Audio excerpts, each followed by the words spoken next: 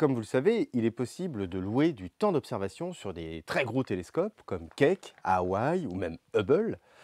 Et donc pour vous, j'ai euh, ouais, attends, attends deux secondes. Pour vous, j'ai loué du temps d'observation, alors non pas sur un des deux que je viens de citer, mais sur un très gros télescope euh, au Chili. On va pouvoir ensemble eh ben, euh, visionner un petit peu les images qu'il a à nous offrir. Et En fait, Ludo, j'ai reçu ma nouvelle caméra. Ah putain, t'as reçu la... C'est quoi, c'est une ZWO Ouais, une Asie 294. MC Pro. Bon bah, oubliez ce que je viens de dire. De toute façon, bon, le Chili, c'est loin. Euh, là, il y a du concret. On va pouvoir regarder ce que vaut cette petite caméra. Allez, générique.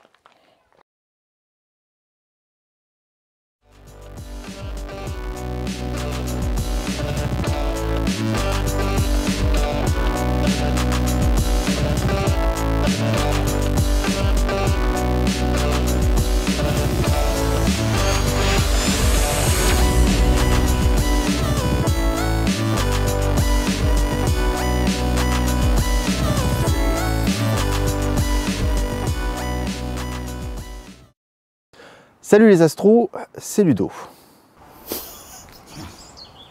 Alors je précise que nous avons commencé cette vidéo l'année dernière et bah, on n'avait pas eu le temps de finir euh, en temps et en heure. Donc ne vous étonnez pas si on est tantôt euh, ici, tantôt dans mon jardin ou tantôt ailleurs. Alors tout d'abord, bonjour à mon invité, Arnaud, dit Nono. Bonjour tout le monde, bonjour Ludo. Merci de m'avoir mis sous la lumière, euh, sous le feu des projecteurs, si je puis dire. Écoute, c'est tout naturel. Alors pour ceux qui me suivent depuis un moment, bah, vous connaissez déjà Arnaud, vu qu'on s'est rencontrés euh, alors qu'on sortait pour la première fois nos instruments. On s'est rencontrés sur un site astro. Alors tout d'abord Arnaud, comment vas-tu? Écoute, très bien. Le beau temps revient. Ça fait du bien. Alors, peux-tu nous faire un récap de ton setup? Donc j'utilise un Newton 150-750 monté sur une monture HEQ5. Euh, comme caméra de guidage, une ASI 120 mini de chez ZWO qui est monté sur une lunette 70-700, une petite Bresser, enfin un bazooka comme on appelle ça. Euh, et euh, pour finir, tout ça est piloté par un, par un système ASIR Pro. Ok, oui ça on va en parler euh, de l'ASIR. Et donc ton imageur? Mon imageur est tout récent, enfin tout récent, il a une petite année bientôt, il n'a pas trop servi, mais c'est une, une ASI 294 MC Pro, donc une caméra couleur refroidie de chez ZWO. Parce qu'avant ça, tu shootais avec Avec un APN, un, Canon 110, 100D, euh, pardon, euh, non défiltré. Non défiltré. Voilà. Donc habituellement, Nono utilise un diviseur optique qui permet d'avoir la caméra de guidage sur l'imageur, enfin en tout cas sur le porte-oculaire. Mais là, comme il n'a pas les bonnes bagues avec la nouvelle caméra, donc il l'a commandé, tout ça, donc il utilise un lance-roquette. Donc bien sûr, c'est contre les accords d'Oslo, mais pour ce soir, on dira rien.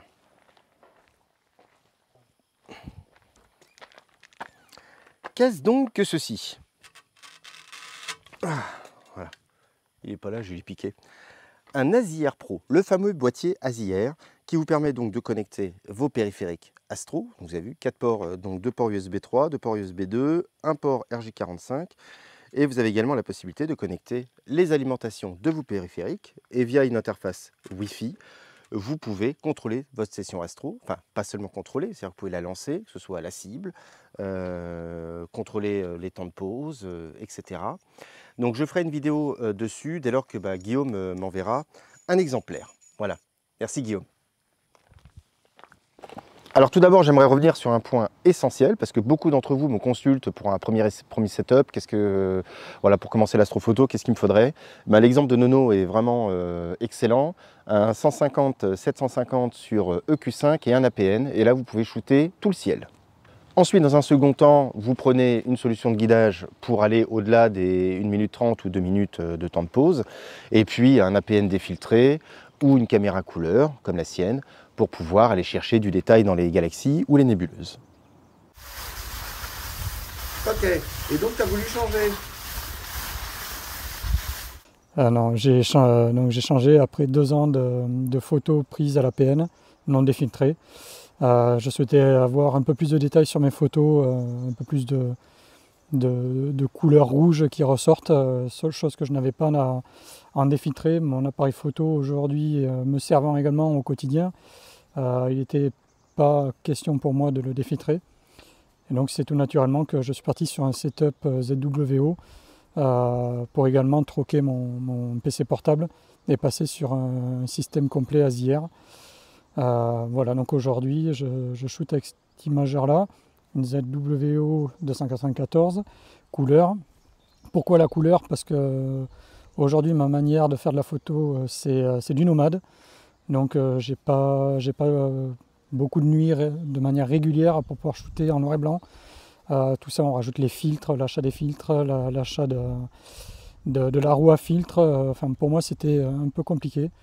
et j'aime bien aussi pouvoir sortir une photo rapidement euh, donc c'est tout naturellement que je suis parti sur une caméra couleur.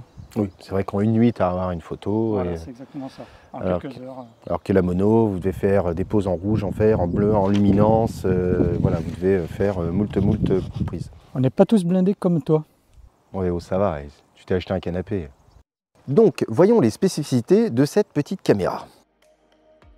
Voici donc la nouvelle ZWO ASI 294 MC Pro.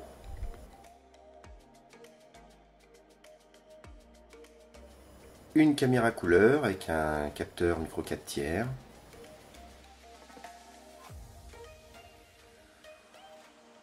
La résolution est de 4144 x 2822, ce qui nous fait, je, retiens 4, 11,3 mégapixels.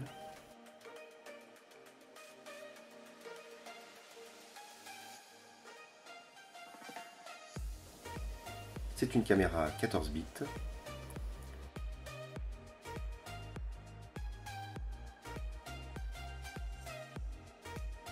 Donc la taille des pixels est de 4,63 microns, donc ça c'est important pour l'échantillonnage.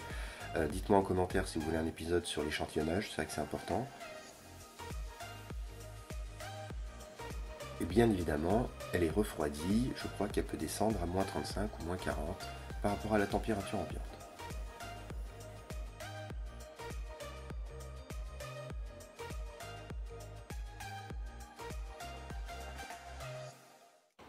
Donc, depuis, tu as pu shooter avec?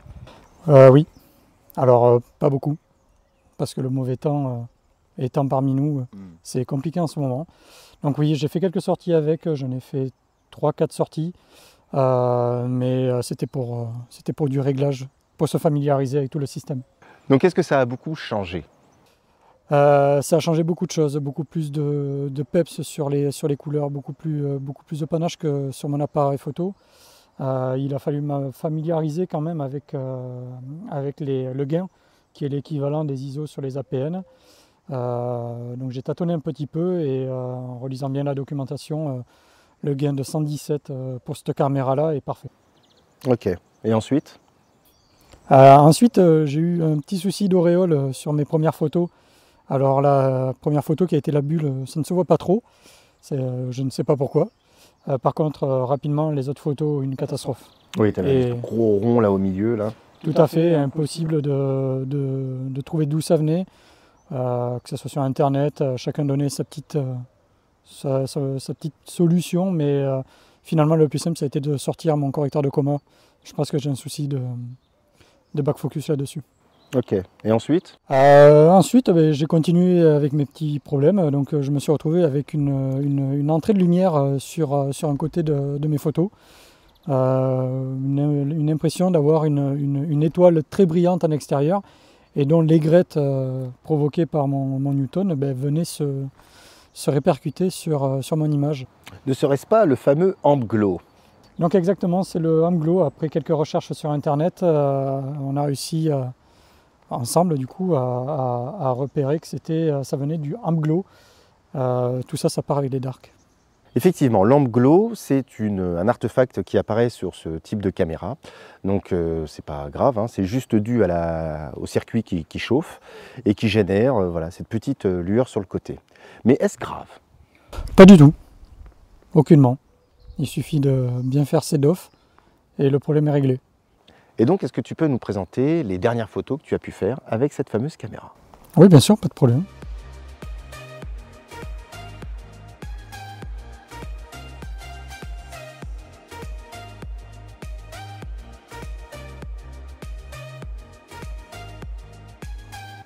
eh ben, de bien belles photos. Donc Nono continuera à poster ses photos sur le groupe Facebook. Donc je vous invite à rejoindre le groupe Facebook Pause Longue. Toujours l'Instagram également. À vous abonner. Allez, on vise les 1 million. Et puis, euh, on se revoit dans 15 jours pour parler de cette photo. Voilà, hop, je vous en dévoile pas trop. Euh, pas, de cette photo, mais surtout euh, c'est la photo qui m'a servi à faire des tests avec la, la, dernière monture. Et donc je suis arrivé à quelque chose et on verra ça donc la prochaine fois. À bientôt